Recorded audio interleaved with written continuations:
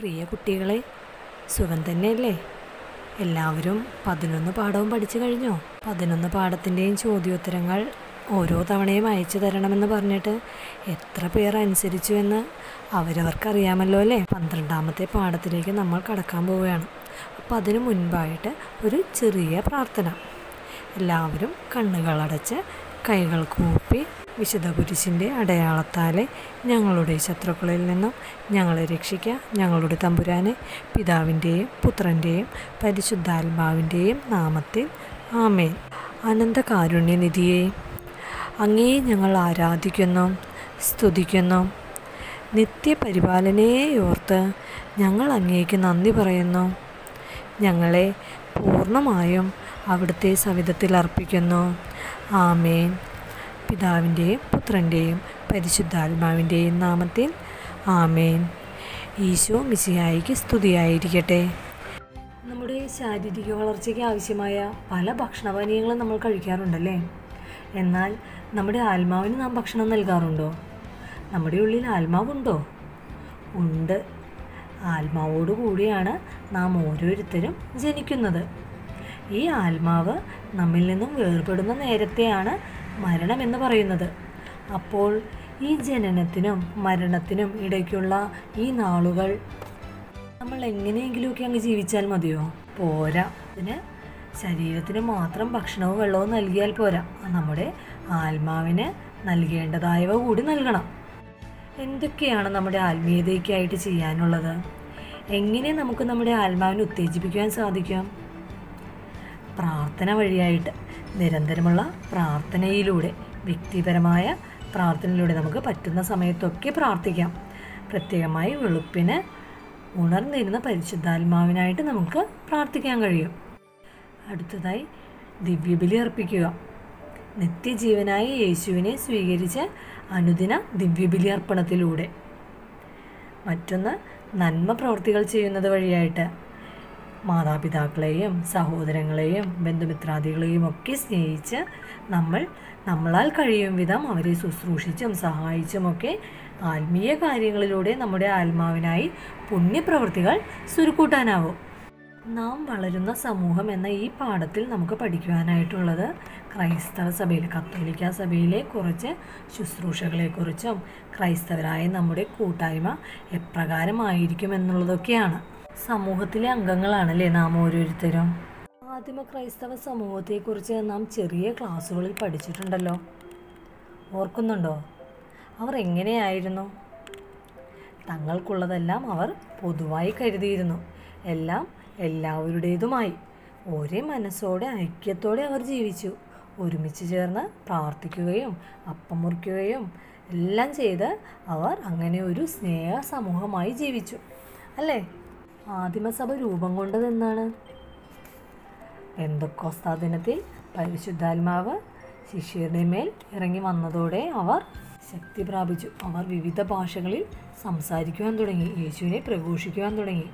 അന്ന് തന്നെ മൂവായിരത്തോളം പേരാണ് യേശുവിൽ വിശ്വസിച്ച് ജ്ഞാനസ്നാനം സ്വീകരിച്ചത്. അങ്ങനെ ആദിമസഭ രൂപം കൊണ്ടു. ജെറുസലേമിൽ ആദിമസഭയിൽ അപ്പോസ്തലന്മാരായിരുന്നു യേശുവിനെ പ്രഘോഷിച്ചതും ക്രൈസ്തവ സമൂഹത്തിന്റെ ശുശ്രൂഷകളൊക്കെ നിറവേറ്റിയിരുന്നതും. എന്നാൽ യേശുവിൽ വിശ്വസിച്ച് ഒത്തിരിയേറെ പേർ സഭയിൽ അംഗങ്ങളായതോടെ സഭ വളരാൻ തുടങ്ങി.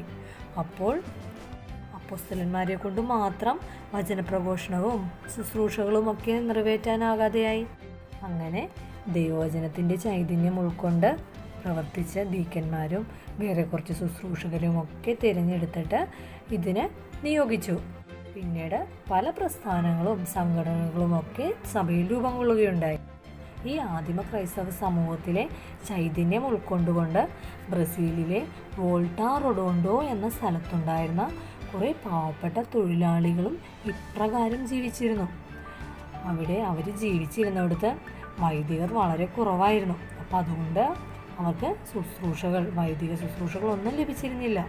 അതുകൊണ്ട് അവരെന്താ ചെയ്തേ? അയൽവാസികളായി താമസിക്കുന്ന കുറേ പേര് ഒരു വീട്ടിൽ ഒരുമിച്ച് കൂടും. ബൈബിൾ വായിക്കും. ക്രൈസ്തവ വിശ്വാസത്തിന്റെ വെളിച്ചത്തിൽ അവരുടേതായ ജീവിത പ്രശ്നങ്ങളും പ്രാദേശികവും ദേശീയവുമായ കാര്യങ്ങളെയും ഒക്കെ കുറിച്ച് ചർച്ച ചെയ്യുകയും ദൈവവചനത്തിന്റെ സഹായത്തോടെ പരിഹാരം കണ്ടെത്തി പ്രവർത്തിക്കുകയും ഒക്കെ ചെയ്തു പോന്നു. അത് അവരുടെ ആധ്യാത്മികവും ഭൗതികവുമായ വളർച്ചയൊക്കെ ഒത്തിരിയേറെ സഹായിച്ചു. ഇതുപോലെ ദൈവവചനവും ജീവിത സാഹചര്യങ്ങളുമൊക്കെ ചേർക്കപ്പെടുകയും ചർച്ച ചെയ്യപ്പെടുകയും വചനാധിഷ്ഠിത ജീവിതത്തിന് സഹായിക്കുകയും ചെയ്യുന്ന കൂട്ടായ്മയെയാണ് അടിസ്ഥാന ക്രൈസ്തവ സമൂഹങ്ങൾ basic Christian communities B C C എന്ന് അറിയപ്പെടുന്നത്.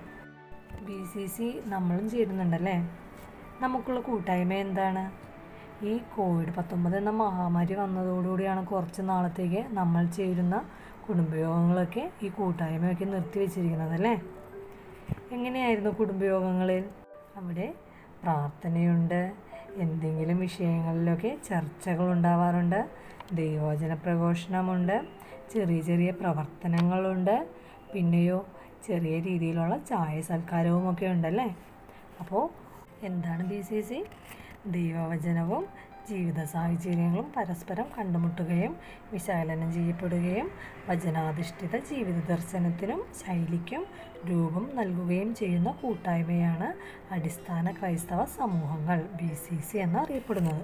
ഈ ബി സി സി ഒരു സംഘടനയോ പ്രസ്ഥാനമോ ഒന്നുമല്ല. പിന്നെ എന്താണ്? ദൈവരാജ്യം പടുത്തുയർത്തുക എന്ന വലിയ ദൗത്യം നിവൃത്തിയാകുന്നതിന് സഹായിക്കുന്ന ലളിതമായ ഒരു ജീവിത മാർഗമാണ് ഒരുമിച്ചിരുന്ന് ദൈവവചനം വായിക്കുകയും പ്രാർത്ഥിക്കുകയും ചിന്തിക്കുകയും പ്രവർത്തിക്കുകയും ഒക്കെ ചെയ്യുന്നതിലൂടെ നമ്മുടെ വിശ്വാസവും കൂട്ടായ്മയും ജീവിതവും ശക്തിപ്പെടുത്തുകയും പുരോഗതിയിലേക്ക് നയിക്കപ്പെടുകയും ചെയ്യുന്നു. ഓരോ ചെറിയ സമൂഹങ്ങളായി നമ്മൾ പ്രാർത്ഥിക്കുകയും പ്രവർത്തിക്കുകയും ഒക്കെ ചെയ്യുന്നതിലൂടെ ദൈവരാജ്യം പടുത്തുയർത്തുക എന്ന വലിയ ദൗത്യമാണ് നമ്മൾ അനുഷ്ഠിച്ചു പോരുന്നത്. ചെറിയ സമൂഹങ്ങളിലൂടെ ദൈവരാജ്യത്തിലേക്ക് എന്നതാണ് ബി സി സിയുടെ മുദ്രാവാക്യം. കൂടാതെ ശുശ്രൂഷകനായ യേശുവിന്റെ മാതൃക അനുകരിച്ച് സഭയിൽ ശുശ്രൂഷകളിലൂടെ നമ്മൾ വിശ്വാസികൾ ഒരു സമൂഹമായി വളരുകയും സമൂഹത്തിലെ മറ്റുള്ള അംഗങ്ങളെയെല്ലാം വളരാൻ സഹായിക്കുകയും ചെയ്യുന്നുണ്ട്. സഭയിലെ പ്രധാനപ്പെട്ട കുറച്ച് ശുശ്രൂഷകൾ ഏതൊക്കെയാണെന്ന് നോക്കാം. അജപാലന ശുശ്രൂഷ വിദ്യാഭ്യാസ ശുശ്രൂഷ സാമൂഹിക ശുശ്രൂഷ. ഈ അജപാലന ശുശ്രൂഷ എന്താണ്? യേശു നല്ലിടയനാണല്ലേ? എന്താണ് യേശു ചെയ്തത്? തന്റെ അജഗണത്തെ സ്നേഹിക്കുകയും പരിപാലിക്കുകയും ചെയ്തു.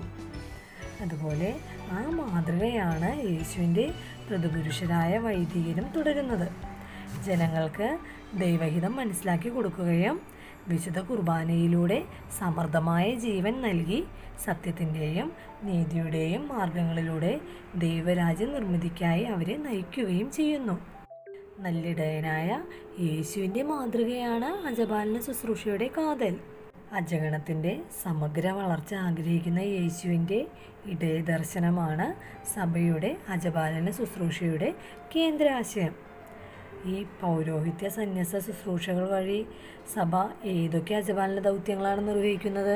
ബൈബിൾ പ്രേഷിതത്വം ക്രിസ്തീയ വിശ്വാസ ജീവിത പരിശീലനം ആരാധനാക്രമം കുടുംബ പ്രേഷിതത്വം യുവജന പ്രേഷിതത്വം ഇതര സഭകളുമായുള്ള ഐക്യം ഇതര മതങ്ങളുമായുള്ള സംഭാഷണം സുവിശേഷവൽക്കരണം സാംസ്കാരികാനുരൂപണം ഭക്തസംഘടനകൾ മറ്റ് അൽമായ സംഘടനകൾ എന്നിവയൊക്കെ അജപാലന ശുശ്രൂഷയുടെ ഭാഗമായി നിർവഹിക്കപ്പെടുന്നവയാണ്.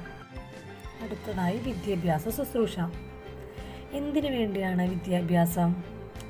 അറിവിന് വേണ്ടി. ഈ അറിവില്ലാത്ത അവസ്ഥ എന്താണ്? ജ്ഞാനമില്ലാത്ത അവസ്ഥ.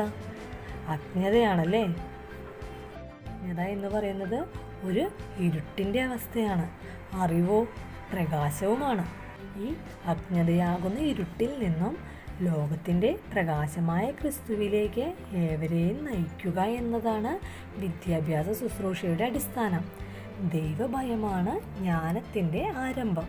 ദൈവരാജ്യത്തിന്റെ നിർമ്മിതിക്ക് ആവശ്യമായ മൂല്യങ്ങളൊക്കെ നൽകി നമ്മെ സമൂഹത്തിന്റെ ഉന്നത സ്ഥാനത്ത് എത്തിച്ച് പ്രവർത്തനോന്മുഖരാക്കുകയും അതുവഴിയായി ഭയത്തെയും അടിമത്തത്തെയും അധർമ്മത്തെയും ഒക്കെ കീഴടക്കി സ്വാതന്ത്ര്യത്തിന്റെയും സാഹോദര്യത്തിന്റെയും സത്യത്തിന്റെയും വഴികളിൽ സഞ്ചരിക്കാൻ നമ്മെ സഹായിക്കുക എന്നതാണ് വിദ്യാഭ്യാസ ശുശ്രൂഷയുടെ ലക്ഷ്യം. അടുത്തതായി സാമൂഹിക ശുശ്രൂഷ. വിശക്കുന്നവന്റെ മുമ്പിൽ അപ്പമായും കരയുന്നവന്റെ മുമ്പിൽ ആശ്വാസമായും രോഗിയുടെ മുമ്പിൽ സൗഖ്യമായും അടിമയുടെ മുമ്പിൽ സ്വാതന്ത്ര്യമായും പാപിയുടെ മുമ്പിൽ രക്ഷകനായും മരിച്ചവന്റെ മുമ്പിൽ ജീവനായും അവതരിച്ച ക്രിസ്തുവിന്റെ മാതൃകയാണ് സഭയുടെ സാമൂഹിക ശുശ്രൂഷയ്ക്ക് അടിസ്ഥാനമായിട്ടുള്ളത്. ഇനി സഭയുടെ സാമൂഹിക ശുശ്രൂഷയുടെ ലക്ഷ്യം എന്താണ്? സ്നേഹത്തിലും നീതിയിലും സത്യത്തിലും സമാധാനത്തിലും സ്വാതന്ത്ര്യത്തിലും അധിഷ്ഠിതമായ സമൂഹ രൂപീകരണമാണ് സഭയുടെ സാമൂഹിക ശുശ്രൂഷയുടെ ലക്ഷ്യം.